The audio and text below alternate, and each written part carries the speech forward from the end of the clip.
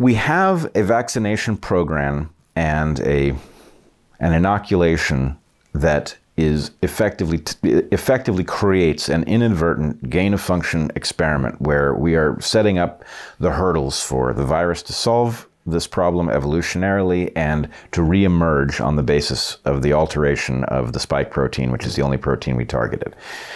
All right. So that last time we spoke, you said this is going to produce escape variants, that that's what we should be looking for. And you believed that we were going to see escape variants that were both more infectious and more virulent. Mm. Is that right? Yeah.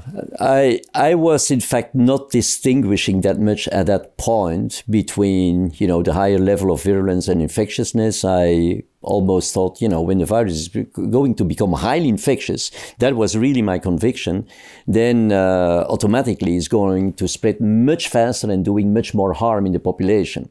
So, um, so that has come out. I guess I, think everybody acknowledges that uh, this mass vaccination now has really uh, promoted, I should say, the expansion of highly infectious variants. I've never been saying that the mass vaccination induces the mutations because of course know mutations, right. eh, but it, it enables the virus, you know, to do a natural selection between all the different mutants that are produced anyway, and to select those that are most appropriate to overcome this pressure, you know, on on the infectiousness of the virus. This is to say, we'll select the more infectious infectious variants and enable those to become through the system the, that we discussed, the mass vaccination, the same medium everywhere to become uh, predominant, of course, in the population. So uh, that is true, but uh, at the same time, and that is probably the, maybe the next question you want to ask, it did not automatically, on the contrary, in fact, imply a higher level of virulence. Yeah. So that is what it's, it's something that I also learned yep. that, um, and that is also why I'm saying it's not the end of the story. There will be a second step that the virus will take if we continue, you know, uh, well, continue mass vaccination by, for example, vaccination, uh, vaccinating children, or by boosting people. And boosting people is like an automatic process. We have Omicron circulating. That is far more you know, stronger as a boost than coming with a new Omicron vaccine, for example, right? Yes, well, it does raise the question, and I think many of us have scratched our heads over it, why we are still um, transfecting people with Wuhan version spike protein. Why has the, I mean, if there's one, there were so many downsides mm. to the way they chose to vaccinate here. If there's one upside, is that you could swap out the antigen that you've targeted for an updated version without changing anything else. Mm. And yet we haven't updated this, which is an odd fact. Mm. Um, do you have an interpretation? Why, why did, nevertheless they continue? Why did they? Why are they still recommending boosters with the original version of the spike protein yeah. rather than an updated one? Well, you know, Bret, it's it's it's interesting that even in uh, you know uh, 2022, where we have all this access to you know science and technologies, that vaccinology has remained an extremely empirical thing. And as a matter of fact, and the answer is as easy as that, as that they continued and they found out, well, you know, I mean, seems like the efficacy is going down. But for some reason, for some reason, this thing, believe it or not, still seems to protect against severe disease. So now I'm asking you, do you know about any vaccine, any vaccine that in fact makes even the vaccinee more susceptible to infection, right? And nevertheless protects against severe disease?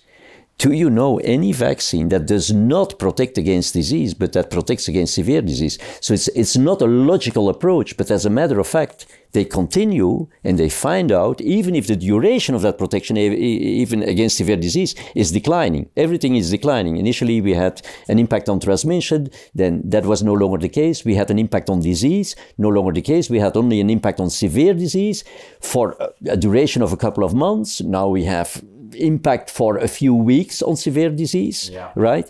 And so empirically, they say, you know, we, in fact, what they're saying is we don't understand how this works. I'm, I'm just telling you, I don't know, after all these years of vaccinology, I don't know of any vaccine that has these characteristics. Protects only against severe disease, not against disease. It enhances even the susceptibility of the vaccinees to infection. Nevertheless, they are protected against severe disease, right? Well, Yeah. how convinced are you that that work is to be taken at face value? Because I've seen at least one analysis that hmm. suggests it may not be a robust fact. No, I agree with you that it's not robust. That's why I'm saying it's it's. Oh, so you're saying this is suspicious? Oh yeah, absolutely. Okay, all right, all right. Uh, Yeah, uh, okay, sorry rather for- than remarkable. Okay, yeah, yeah. Well, uh, remarkable. No, it is suspicious, but you're asking me why uh, they're still con- uh, continuing this, and, and I'm, I'm, I'm answering you. It's an empirical business, right? Oh, right, right. And and and they found out that you know it's still protecting against severe disease, so they're saying, you know, let's continue with this Wuhan strain. Well, maybe I yeah. understand why they're continuing the vaccination campaign because, unfortunately, it would appear to be uh, a straight up business decision, right? That they are obsessed with putting more vaccines in more arms. I can say there's a, obviously, they're being paid on a per vaccination basis at some level, so they have that interest. I think they also have a perverse interest in getting rid of, of the control group because Yeah, yeah, there's well, so much this, of course, yeah. adverse uh, uh, signal, adverse event signal. So anyway, there are lots of reasons they seem to want to vaccinate people. Yeah. But I'm not. Yeah, I'm. What I'm curious about is why, as long as they were going to do this, they didn't update the antigen. And I can think of I can think of a business reason that they might have. You know, there's this funny business around the. Uh, uh, emergency use authorization came with special liability protections. They then got FDA approval, but they are still delivering the emergency use authorized version, even though they are supposed to be essentially the same. Why are they doing that? Because it preserves their special protection from liability. Maybe if they updated the antigen under the FDA approved version, they would lose that. So I could imagine that that would be the case. Yeah, it would also take time. They know that the antibodies, uh, as you know, are directed against the receptor binding domain, which has a high level of variability. And I think the main criterion uh, for the public health author- uh, uh, authorities is, is to keep the hospitalizations under control.